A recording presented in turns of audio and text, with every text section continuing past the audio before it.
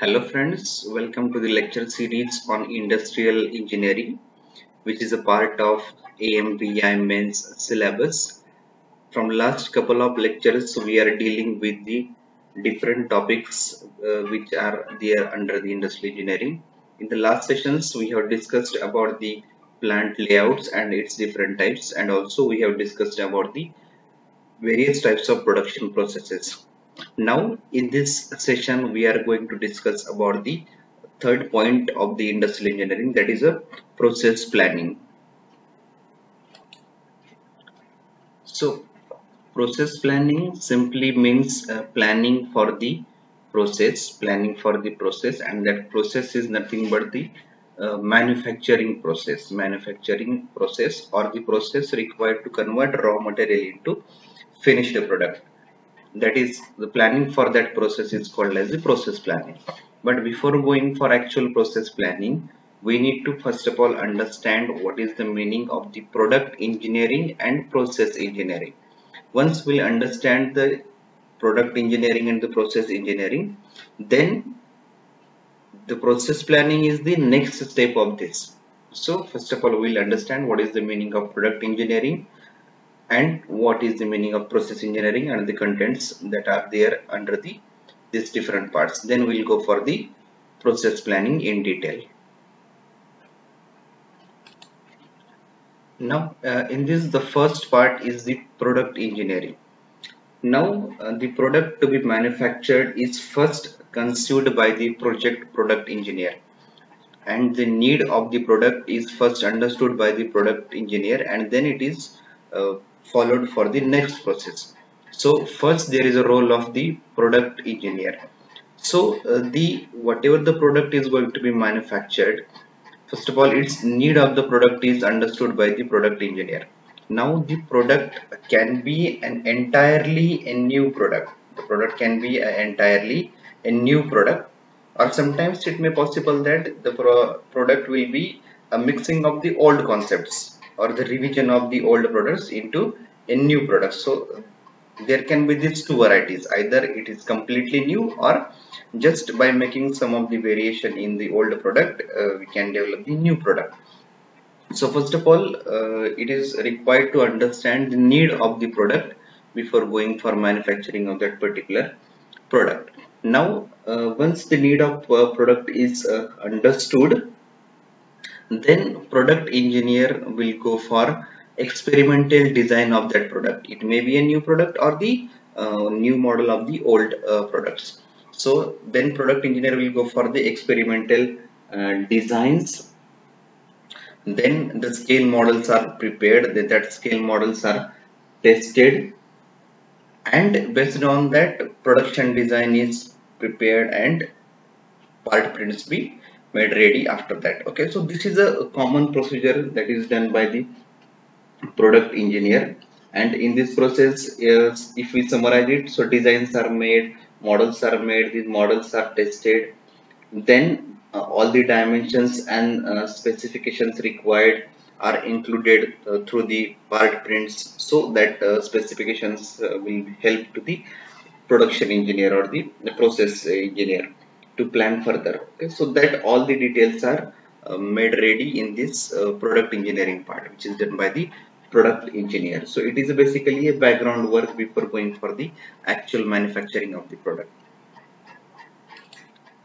Next part is the process engineering. After the product engineering next part is the process engineering. Now in case of uh, process engineering already the product engineering uh, engineer has completed all the design part of the particular product and that design has been given to the process engineer now after getting the design, the role of the process engineer is to prepare an entire manufacture plan, to create an entire manufacture plan. That manufacturing plan will decide the flow of the raw material, the flow of the raw material towards the end journey, towards the end journey that is into final product, that is into final product. So this entire plan will be done in the process engineering. So starting from getting raw material to get the final product so this entire plan will be made once the design will be received from the product engineer so this uh, planning or the creating the entire manufacturing plan comes under the process engineering right so if we see the different types of steps that are considered in the process engineering are the first is determine the basic manufacturing process. So before actually going for uh, deciding each and every step we need to first uh, the process engineer need to first understand what basic manufacturing processes are going to be followed or required for the manufacturing of particular product.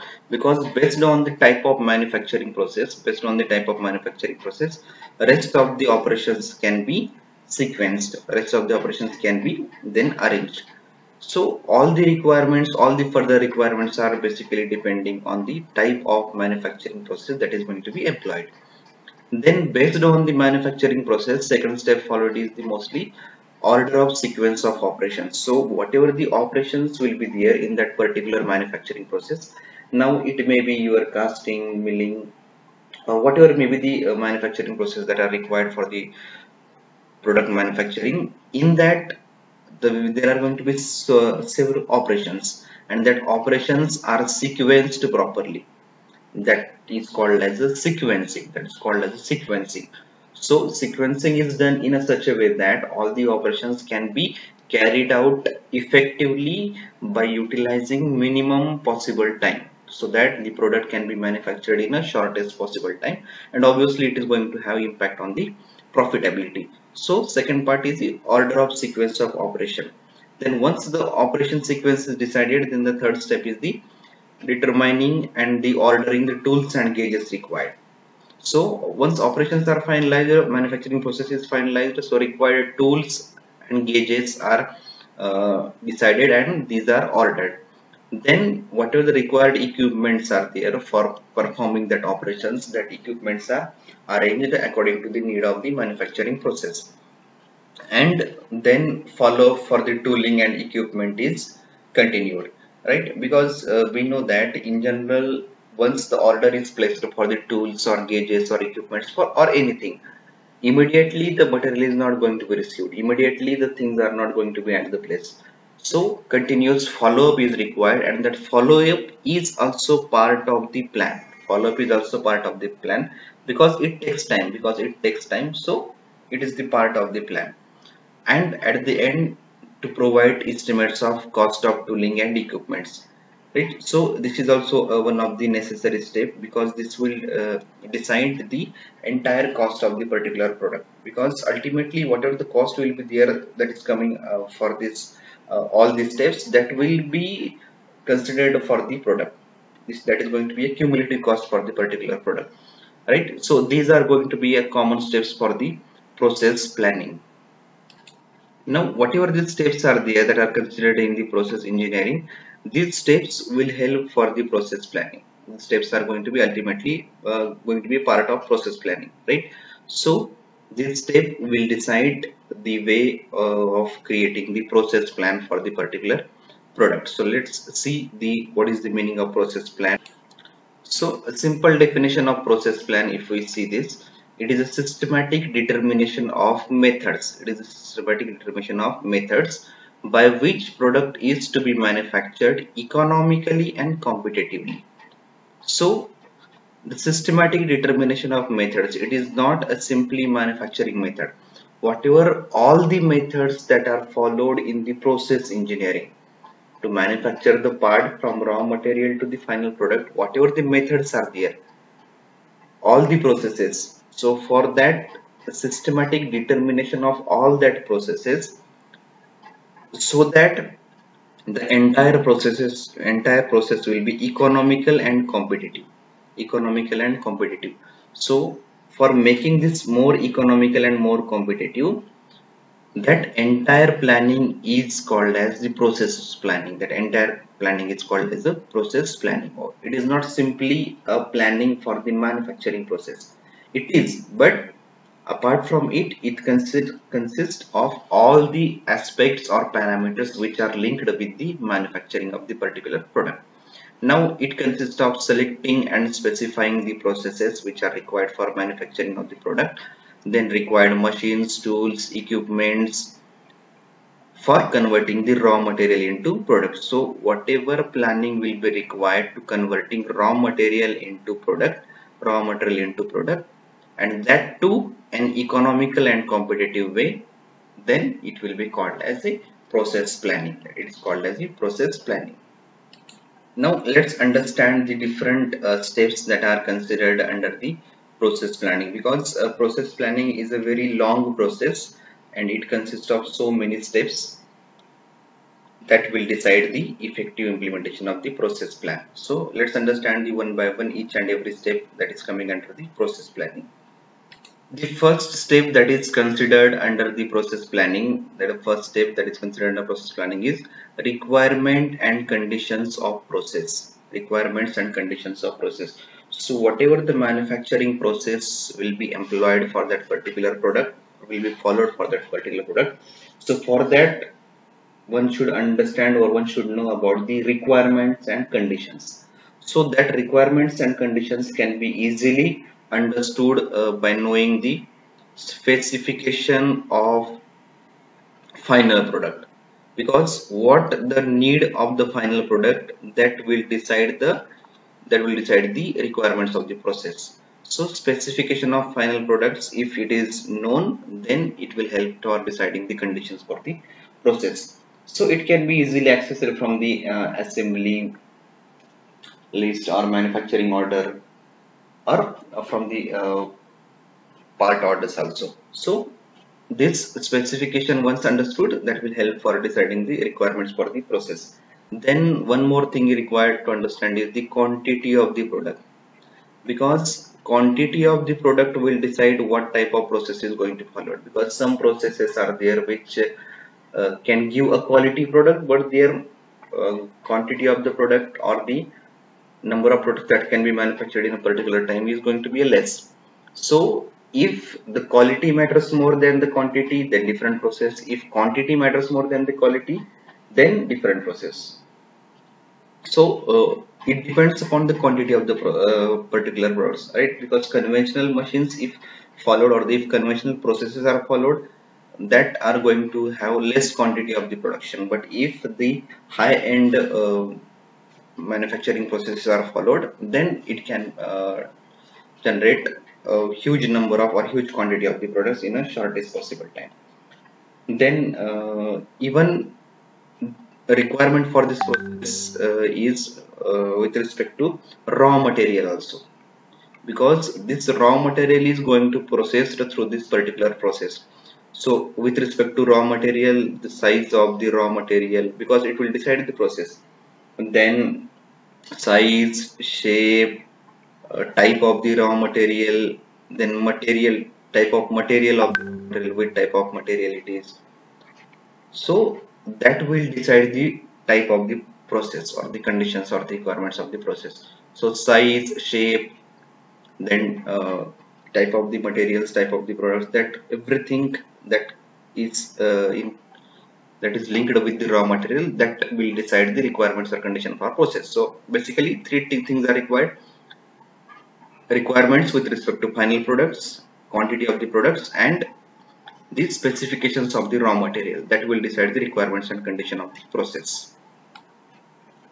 The second thing is second step in the process planning is improvement in specifications. So whatever the specifications are uh, given by the product engineer or the design engineer it is uh, need not to be have the same specifications uh, because uh, specifications uh, can be improved or can be rearranged by process engineer also or while making the process plan also. But provided that it must be conveyed to the product engineer or the design engineer right? Because maybe at the time of process planning a process engineer can understood understand that uh, there may be some type of overlapping of the dimensions there may be the problem with the tolerances notations for surface finish quality. So that problems can be there.